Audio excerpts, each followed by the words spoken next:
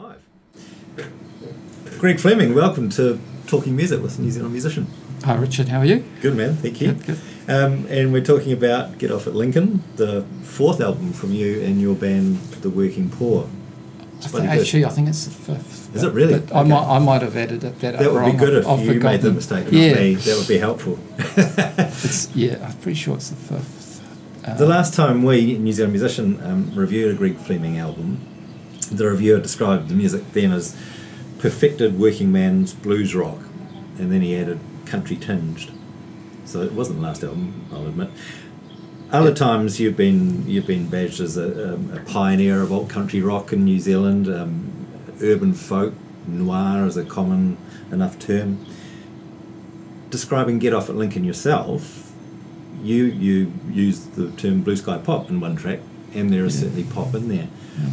So, question: When a stranger at a party asks asks you, how do you tend to describe your music these days? Well, I mean, I listen to a whole lot of lot of music, but I guess the, the music we've we've made with the working poor, uh, I guess is, is, is basically rock and roll. There's more of a kind of soul and blues and hip hop tinge to the to the new album, so it's quite diverse. I think that that's what people have said to me. You know, there, there's there's a whole lot of genres there, but it still sounds like us. So you know, as I, as, I, as, as I think I mentioned to you, we, we every time we record an album, I say to the guys, look, I want to I want to make a hip hop album, and I do one day, and it'll probably be awful, but what we do do is incorporate things like like hip hop and soul. I love R and B soul, and put it into what we do, and it comes out different, and it comes out like us. So, if you go back over over all the albums, whatever whatever you say about them, I think there's a consistency there to the sound, and and that consistency doesn't mean it's dull. It's it's moved on and changed, but there is a consistency to the to those guys, and and I'm very lucky to work with those guys in a room um, playing, and we basically play live to for ninety percent. That's that's band in a room playing. So. That, that's kind of a unique thing these days too, in many ways. Right. Yeah. Might just for the sake of the video mention the the name of the working poor, the names um, rather. Andrew Thorne on guitar, John Segovia guitar, Nick Dewars Nick on Dewars, piano, yep. and Mark Hughes bass, and uh, Wayne Bell the master on drums. Five top quality musicians, and, and I'm guessing friends and, and peers. Yeah. Well, I've known I've known uh, Wayne and Andrew for many years. Uh, worked with them since the nineties. Um, Mark too. Uh, Nick was a more recent kind of last since t- 2012. Andrew bought Nick in. Nick's an amazing pianist. Mm. He used to play with Pa- Pauly Fuemana. He used to tour with Paulie, and amongst other things, he's a he's a very sought after music teacher.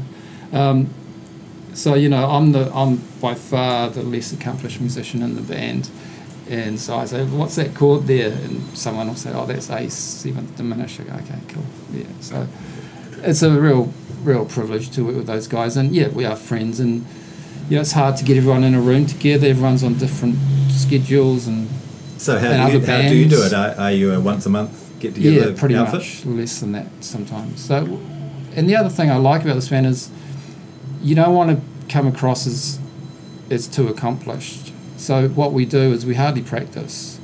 So we for this album we practiced maybe three times, and then we went in and did the whole record.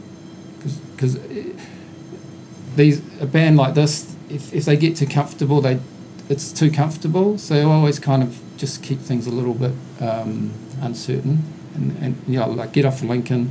We'd only done that a few times. Still blue we'd only played it once before we went in and did it. That's the sky blue pop Mm. song um, yeah so I think that spontaneity keeping that is, is really key keeping mistakes is key uh, yeah But you obviously at a point work up the songs and Yeah. and how much of the musical content uh, of those parts do you deliver to them or guide, guidelines do you deliver to the, deliver them in the working up of a, Yeah, of a I, I track four basically recording? I bring in a song pretty much finished. They might say, "Oh, well, that we'll, we'll put that bridge there, or change that chorus, or do that chorus twice." like Wayne really liked a certain chorus and don't like me. He said, look, put that, do that twice there. Uh, we don't need to do that here, or, you know, whatever it might be. So everyone and, and all the band kind of contribute. Um, Mm. so it's a, you know, It'll be hard to stop them. yeah, yeah, and, and I, I welcome it, you know. So it's uh, yeah, it's fun. So when you look at the five albums, the five Working Poor albums, um, do you see it as a progression, or is it are you just on a on a kind of a some musical wave that that suits the, the, the time? Well, I, I think I think I want.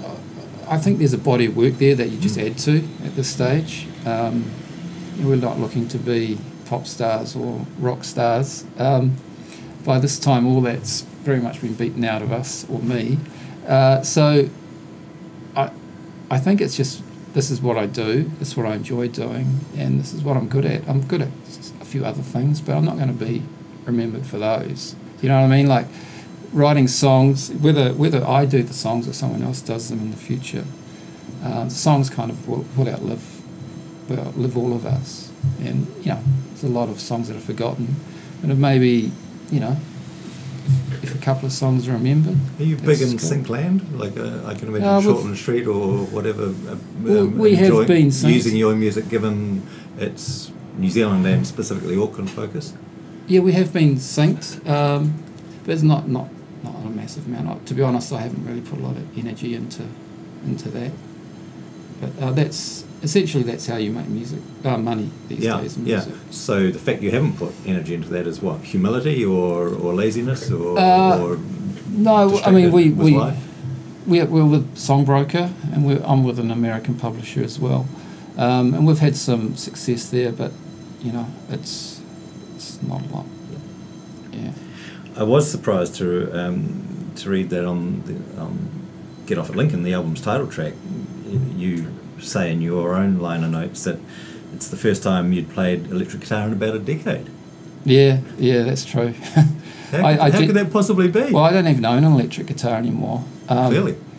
So it was just we were mixing it. We weren't going to put another guitar on because there's already Wayne, uh, John, and Andrew Yeah. on there, and me on acoustic. And I just thought it needed needed something else, and it was just Ollie and I in the in the studio. And I said, "Look, can I go in and just do a guitar track?" So he set up one of his guitars and threw it through an amp there, and we just turned it up really loud and just I just played it a couple of times, and and that's what we got out of it. But clearly, in a decade, you've never felt the need to have an amplifier and, and blast some new, new, or even an old song of yours yourself. Yeah, I, look, not. No, not really, but but I miss it. So I, I mean, I think I might I might look at you know borrowing someone's guitar and um, having a bash because I certainly listen to a lot of electric Yeah. guitar music rather than probably more than acoustic music, and you know I enjoyed enjoyed bashing that one out. It was great. Do you have a favourite acoustic that you, you do play all the time, or you write on? Uh, yeah, I, I write on a, an old Mar- uh, Sigma Martin, which I've had for ever. But live, I play a Takamine. Um, yeah. And what do you like about the tone? I mean, is, are you a tone guy? Do you do you uh, like those guitars for specific reasons? No, it's just it's just I've written all these songs on that guitar, so Yeah. it's got a history. It's banged up. It's, it's certainly it's not particularly valuable. It sounds good. Um, yeah, that's that's the one that's got all Right. those songs in it for whatever Um, reason. You're you're a bit of an, uh, I guess, in, in your songs lyrically, you're you you easily and readily paint great images. And this album in particular It's got a heavy uh, West Auckland focus, Lincoln Road, providing all the the hip hop styled lyrics for My Hood. My Hood, um, yeah. By way of example. I think it's you know as a songwriter you're you're definitely something of an urban poet. Uh, I've seen I've seen that description elsewhere, and and you love looking into the dark corners and, and personal tragedies, and yet yet just seeing and describing beauty in the mundane. I wonder though if it's less about poetry and more about actual short story writing in your songs. If you're if that's where Oh. you come to songwriting. I yeah, I just write. I'm a, I guess a storyteller. um, I, I like those writers and, and, and, and songwriters that are really direct, and Lou Reed, James McMurtry, um, you know, Carole King for the melodies and um, just yeah, a whole lot of stuff. Hip hop, Vince Staples.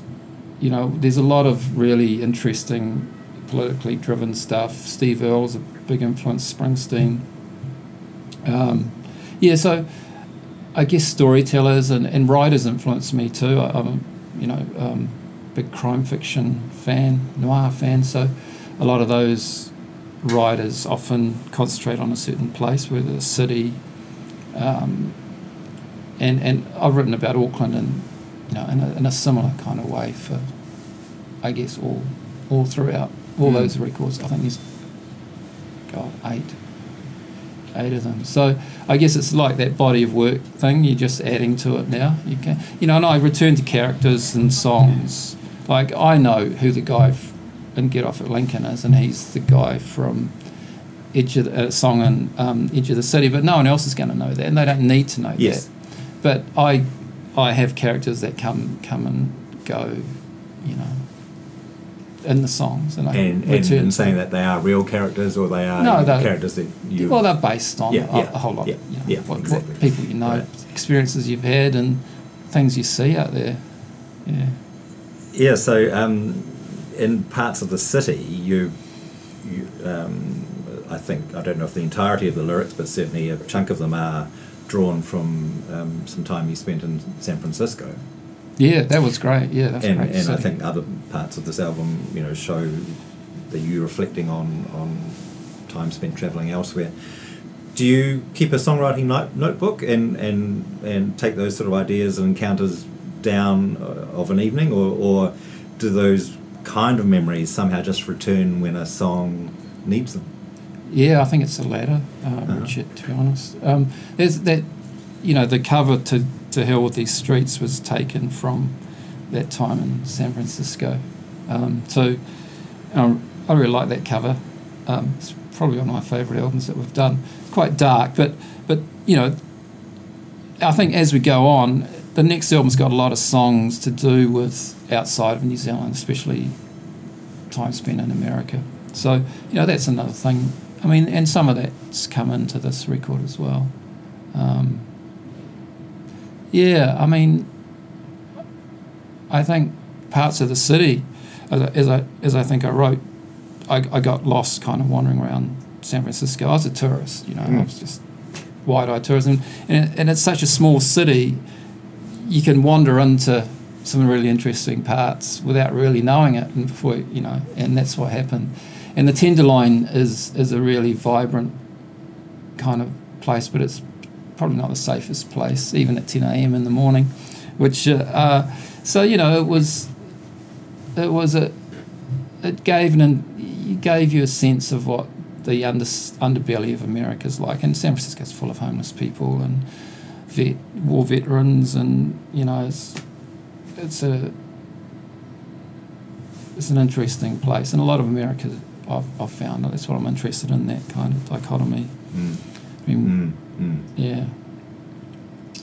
Optimists. Everyone's an optimist in America, seems to me. A lot of people. Even if they, they shouldn't yeah, have any right to be. between optimist and, and, opportunist, right? Optimist yeah, and fantasist. Yeah, fantasist. Yeah, that too. Maybe there. I think I do, do um, know what you mean, though. Yeah. so, yeah, I mean, uh, that, that, that song was just we started off as a band song, and then it was kind of okay. It didn't really grab me, so we just went in and Nick and I did that basically live while the other guys went out, out and had coffee. Um, as, uh, yeah, I, I, think we kind of kind of t- touched on something on that one. So, how long did you need in the studio to get uh, get the tracks of Get Off at Lincoln down? Uh, that most of that was one day that was most of that was in five hours. So it was just one, two, three, four. So it's song after song. We come back and I spent the only time the band was in the studio was that one day. I think Nick, I think Wayne and a couple, Mark came back for another day, and that was it. Yeah, we actually had two other songs we didn't put on here, which we might return to one day. So I, I just think keeping it short, sharp, powerful, um, Don't Outstay Your Welcome. So it's nine songs. Um, yeah, but mostly pretty much done and recorded to tape in a day. Greg, it's a really good album. So Oh, thank you. Whether it had taken two weeks, it would still it would have been a great album. But to have, have got all that that quality and diversity and, and interest down in one day, that's extraordinary. Well done. Thanks. Well, I mean, we mixed and I overdubbed a couple more days. So three days, Yeah. four days, probably all up. So and mastering. But it just day. it's a, a wonderful testament to skilled musicians, skilled engineer, and and songwriting that everybody's kind of obviously getting in behind. and not wor- you know, not worried about being perfect vocally for me, and and that's something I think I've learned from because Edge of the City took weeks, which was a 2012 album, which had been um, recorded after a big break, and now you know we just move on, and uh, that's what it is. That's those songs live. That's when they existed, and you Yeah. know if someone wants to listen to them and gets value out of them, that's cool. So will you be performing them live? Yeah, we're, we're looking at we're trying to figure out some stuff. Um, but yeah, we'll definitely I'll get out there solo or the band or both. Just still just t- you know teeing some stuff up. All right. Yeah. All the best with it, man. Great, Really thanks, Richard. Cheers.